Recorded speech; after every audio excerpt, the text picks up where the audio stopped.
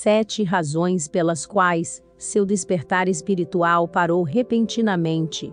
Não importa o seu nível de consciência ou nível de despertar espiritual que você atingiu, chegará um momento em sua jornada espiritual em que você saberá que fez um grande progresso e então, de repente, nada. Tudo para. A positividade voou pela janela, as visões proféticas e os sonhos lúcidos foram substituídos por ideais normais de consciência inferior, e a atenção plena foi substituída por padrões de pensamento hiperativos. Você simplesmente não pode fazer a conexão que sentiu antes, e parece impossível retornar ao nível de luz, amor e consciência superior que você busca. Tudo o que você tenta mover novamente parece falhar, como se um bloqueio de estrada invisível tivesse sido colocado bem na sua frente, deixando você se perguntando: o que está acontecendo? É um caminho que não pode ser evitado, mas por que isso acontece? Os bloqueios de estradas espirituais são projetados para que você diminua a velocidade e faça uma pausa. Seu despertar espiritual inicial pode ter sido tão desenvolvido que agora sua mente precisa de tempo para se reorganizar. Uma reforma dos sistemas de crenças, percepções do mundo e percepções de si mesmo estão em ordem aqui. Esses períodos de tempo podem ser extremamente frustrantes, e às vezes até dolorosos, se o ciclo estiver levando você a outra noite escura da alma. Navegar neste terreno rochoso exige paciência e delicadeza consigo mesmo, a fim de navegar em águas agitadas, com segurança em terra. Determinar a causa raiz de impasses espirituais, de desenvolvimento, é crucial para colocá-lo de volta na estrada. Por esse motivo, neste vídeo falarei de sete razões pelas quais seu despertar espiritual parou repentinamente. 1. Um, você precisa de cura. Um despertar espiritual pode trazer memórias e emoções reprimidas do seu inconsciente para sua consciência. Tais como vidas passadas, coisas que você pode ter esquecido ou coisas que você nem sabia que ocorreram, podem vir à tona você pode até começar a se desassociar dessas memórias, iludindo-se a acreditar que elas são fruto da sua imaginação. 2. Você está com raiva. Qualquer psicólogo dirá que a raiva provém de uma ampla variedade de causas subjacentes. No entanto, quando se trata da raiva decorrente de um despertar espiritual, geralmente podemos restringir um pouco o campo você ainda tem memórias reprimidas ocultas, ainda não trazidas à superfície, bem como a falha em perdoar por aquelas memórias trazidas à sua consciência. 3. Você desenvolveu um senso de self excessivamente inflado. Ao acordar, você se sente no topo do mundo, como se tivesse finalmente chegado, e, olhando para trás, para outras pessoas que ainda não alcançaram seu nível de consciência, você não consegue evitar, mas acaba se sentindo especial. Não me interpretem mal, a iluminação espiritual e a evolução da consciência são algo a ser celebrado. No entanto, a iluminação espiritual é o objetivo final para toda a humanidade, não apenas para alguns escolhidos. Quanto mais você se associa a esta identidade de ser diferente ou especial, isto é, de acordo com Freud, motivado pela autogratificação e prazer, mais você batalha com seu superego efetivamente tornando impossível sustentar uma consciência presente de aceitação e amor, dificultando assim a continuação do seu crescimento espiritual. Muito simplesmente, quanto mais você acredita que chegou, mais você não tem para onde ir.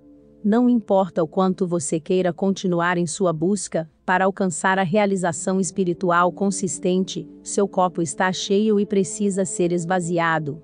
4. Você está frustrado com o estado do mundo atual, depois de muita euforia e exploração dos reinos superiores da vida, ganhando a sabedoria e a compreensão de sua existência multidimensional universalmente conectada, você se encontra humano novamente. Isso pode ser uma grande decepção. O poder que você exalou nos reinos superiores não está se manifestando em seu estado físico atual, e isso pode causar muito desconforto e impaciência Você também pode se sentir alienado de grande parte da sociedade, pois foi dotado de muita sabedoria e deseja compartilhar seu conhecimento, e, ainda assim, para aqueles que não são iluminados, suas percepções e ideais são vistos como irrealistas e excessivamente exuberantes.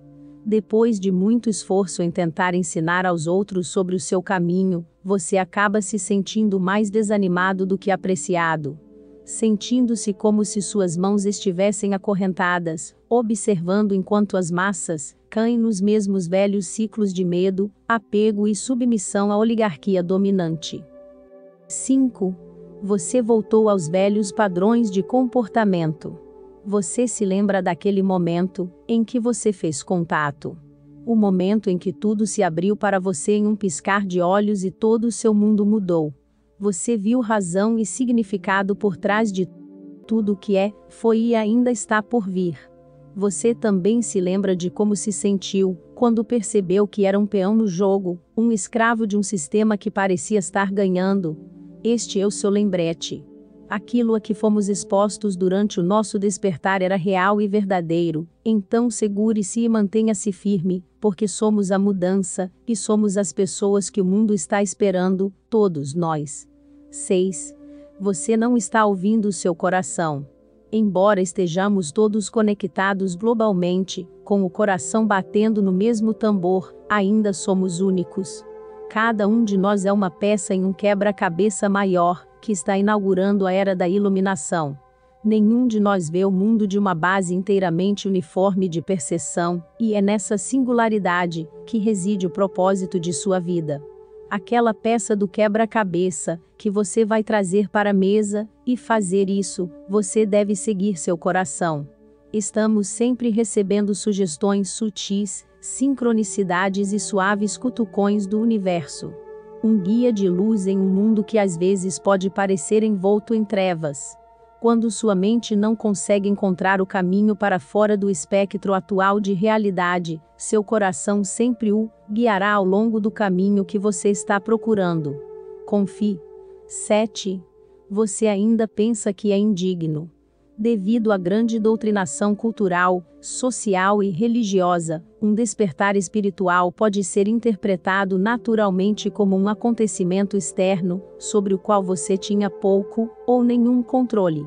Um presente dos deuses, ou de Deus, já que sua consciência se projeta e é vista fora do corpo físico, como tal, sentimentos de indignidade podem assumir imediatamente o centro de controle em sua mente e muitos sentirão que foram abençoados com um presente maravilhoso, que não é merecido. Embora existam muitos deuses, bodhisattvas e guias que podem ajudá-lo em sua jornada de despertar, a realização do poder autêntico é a liberação final. Este poder autêntico emana de sua própria mente inconsciente, aquilo que já faz parte de você, simplesmente está em seu DNA. Ao tornar o inconsciente consciente e trazer a memória para frente, a sabedoria e o conhecimento se desdobram em saber que você está no controle de seu próprio destino. Tudo o que você precisa já está dentro de você. Portanto, se você está preso em sua jornada de despertar espiritual, enfrente sua raiva com amor, siga seu coração em todos os seus caminhos e lembre-se de que você é sempre digno. Gratidão. Namastê.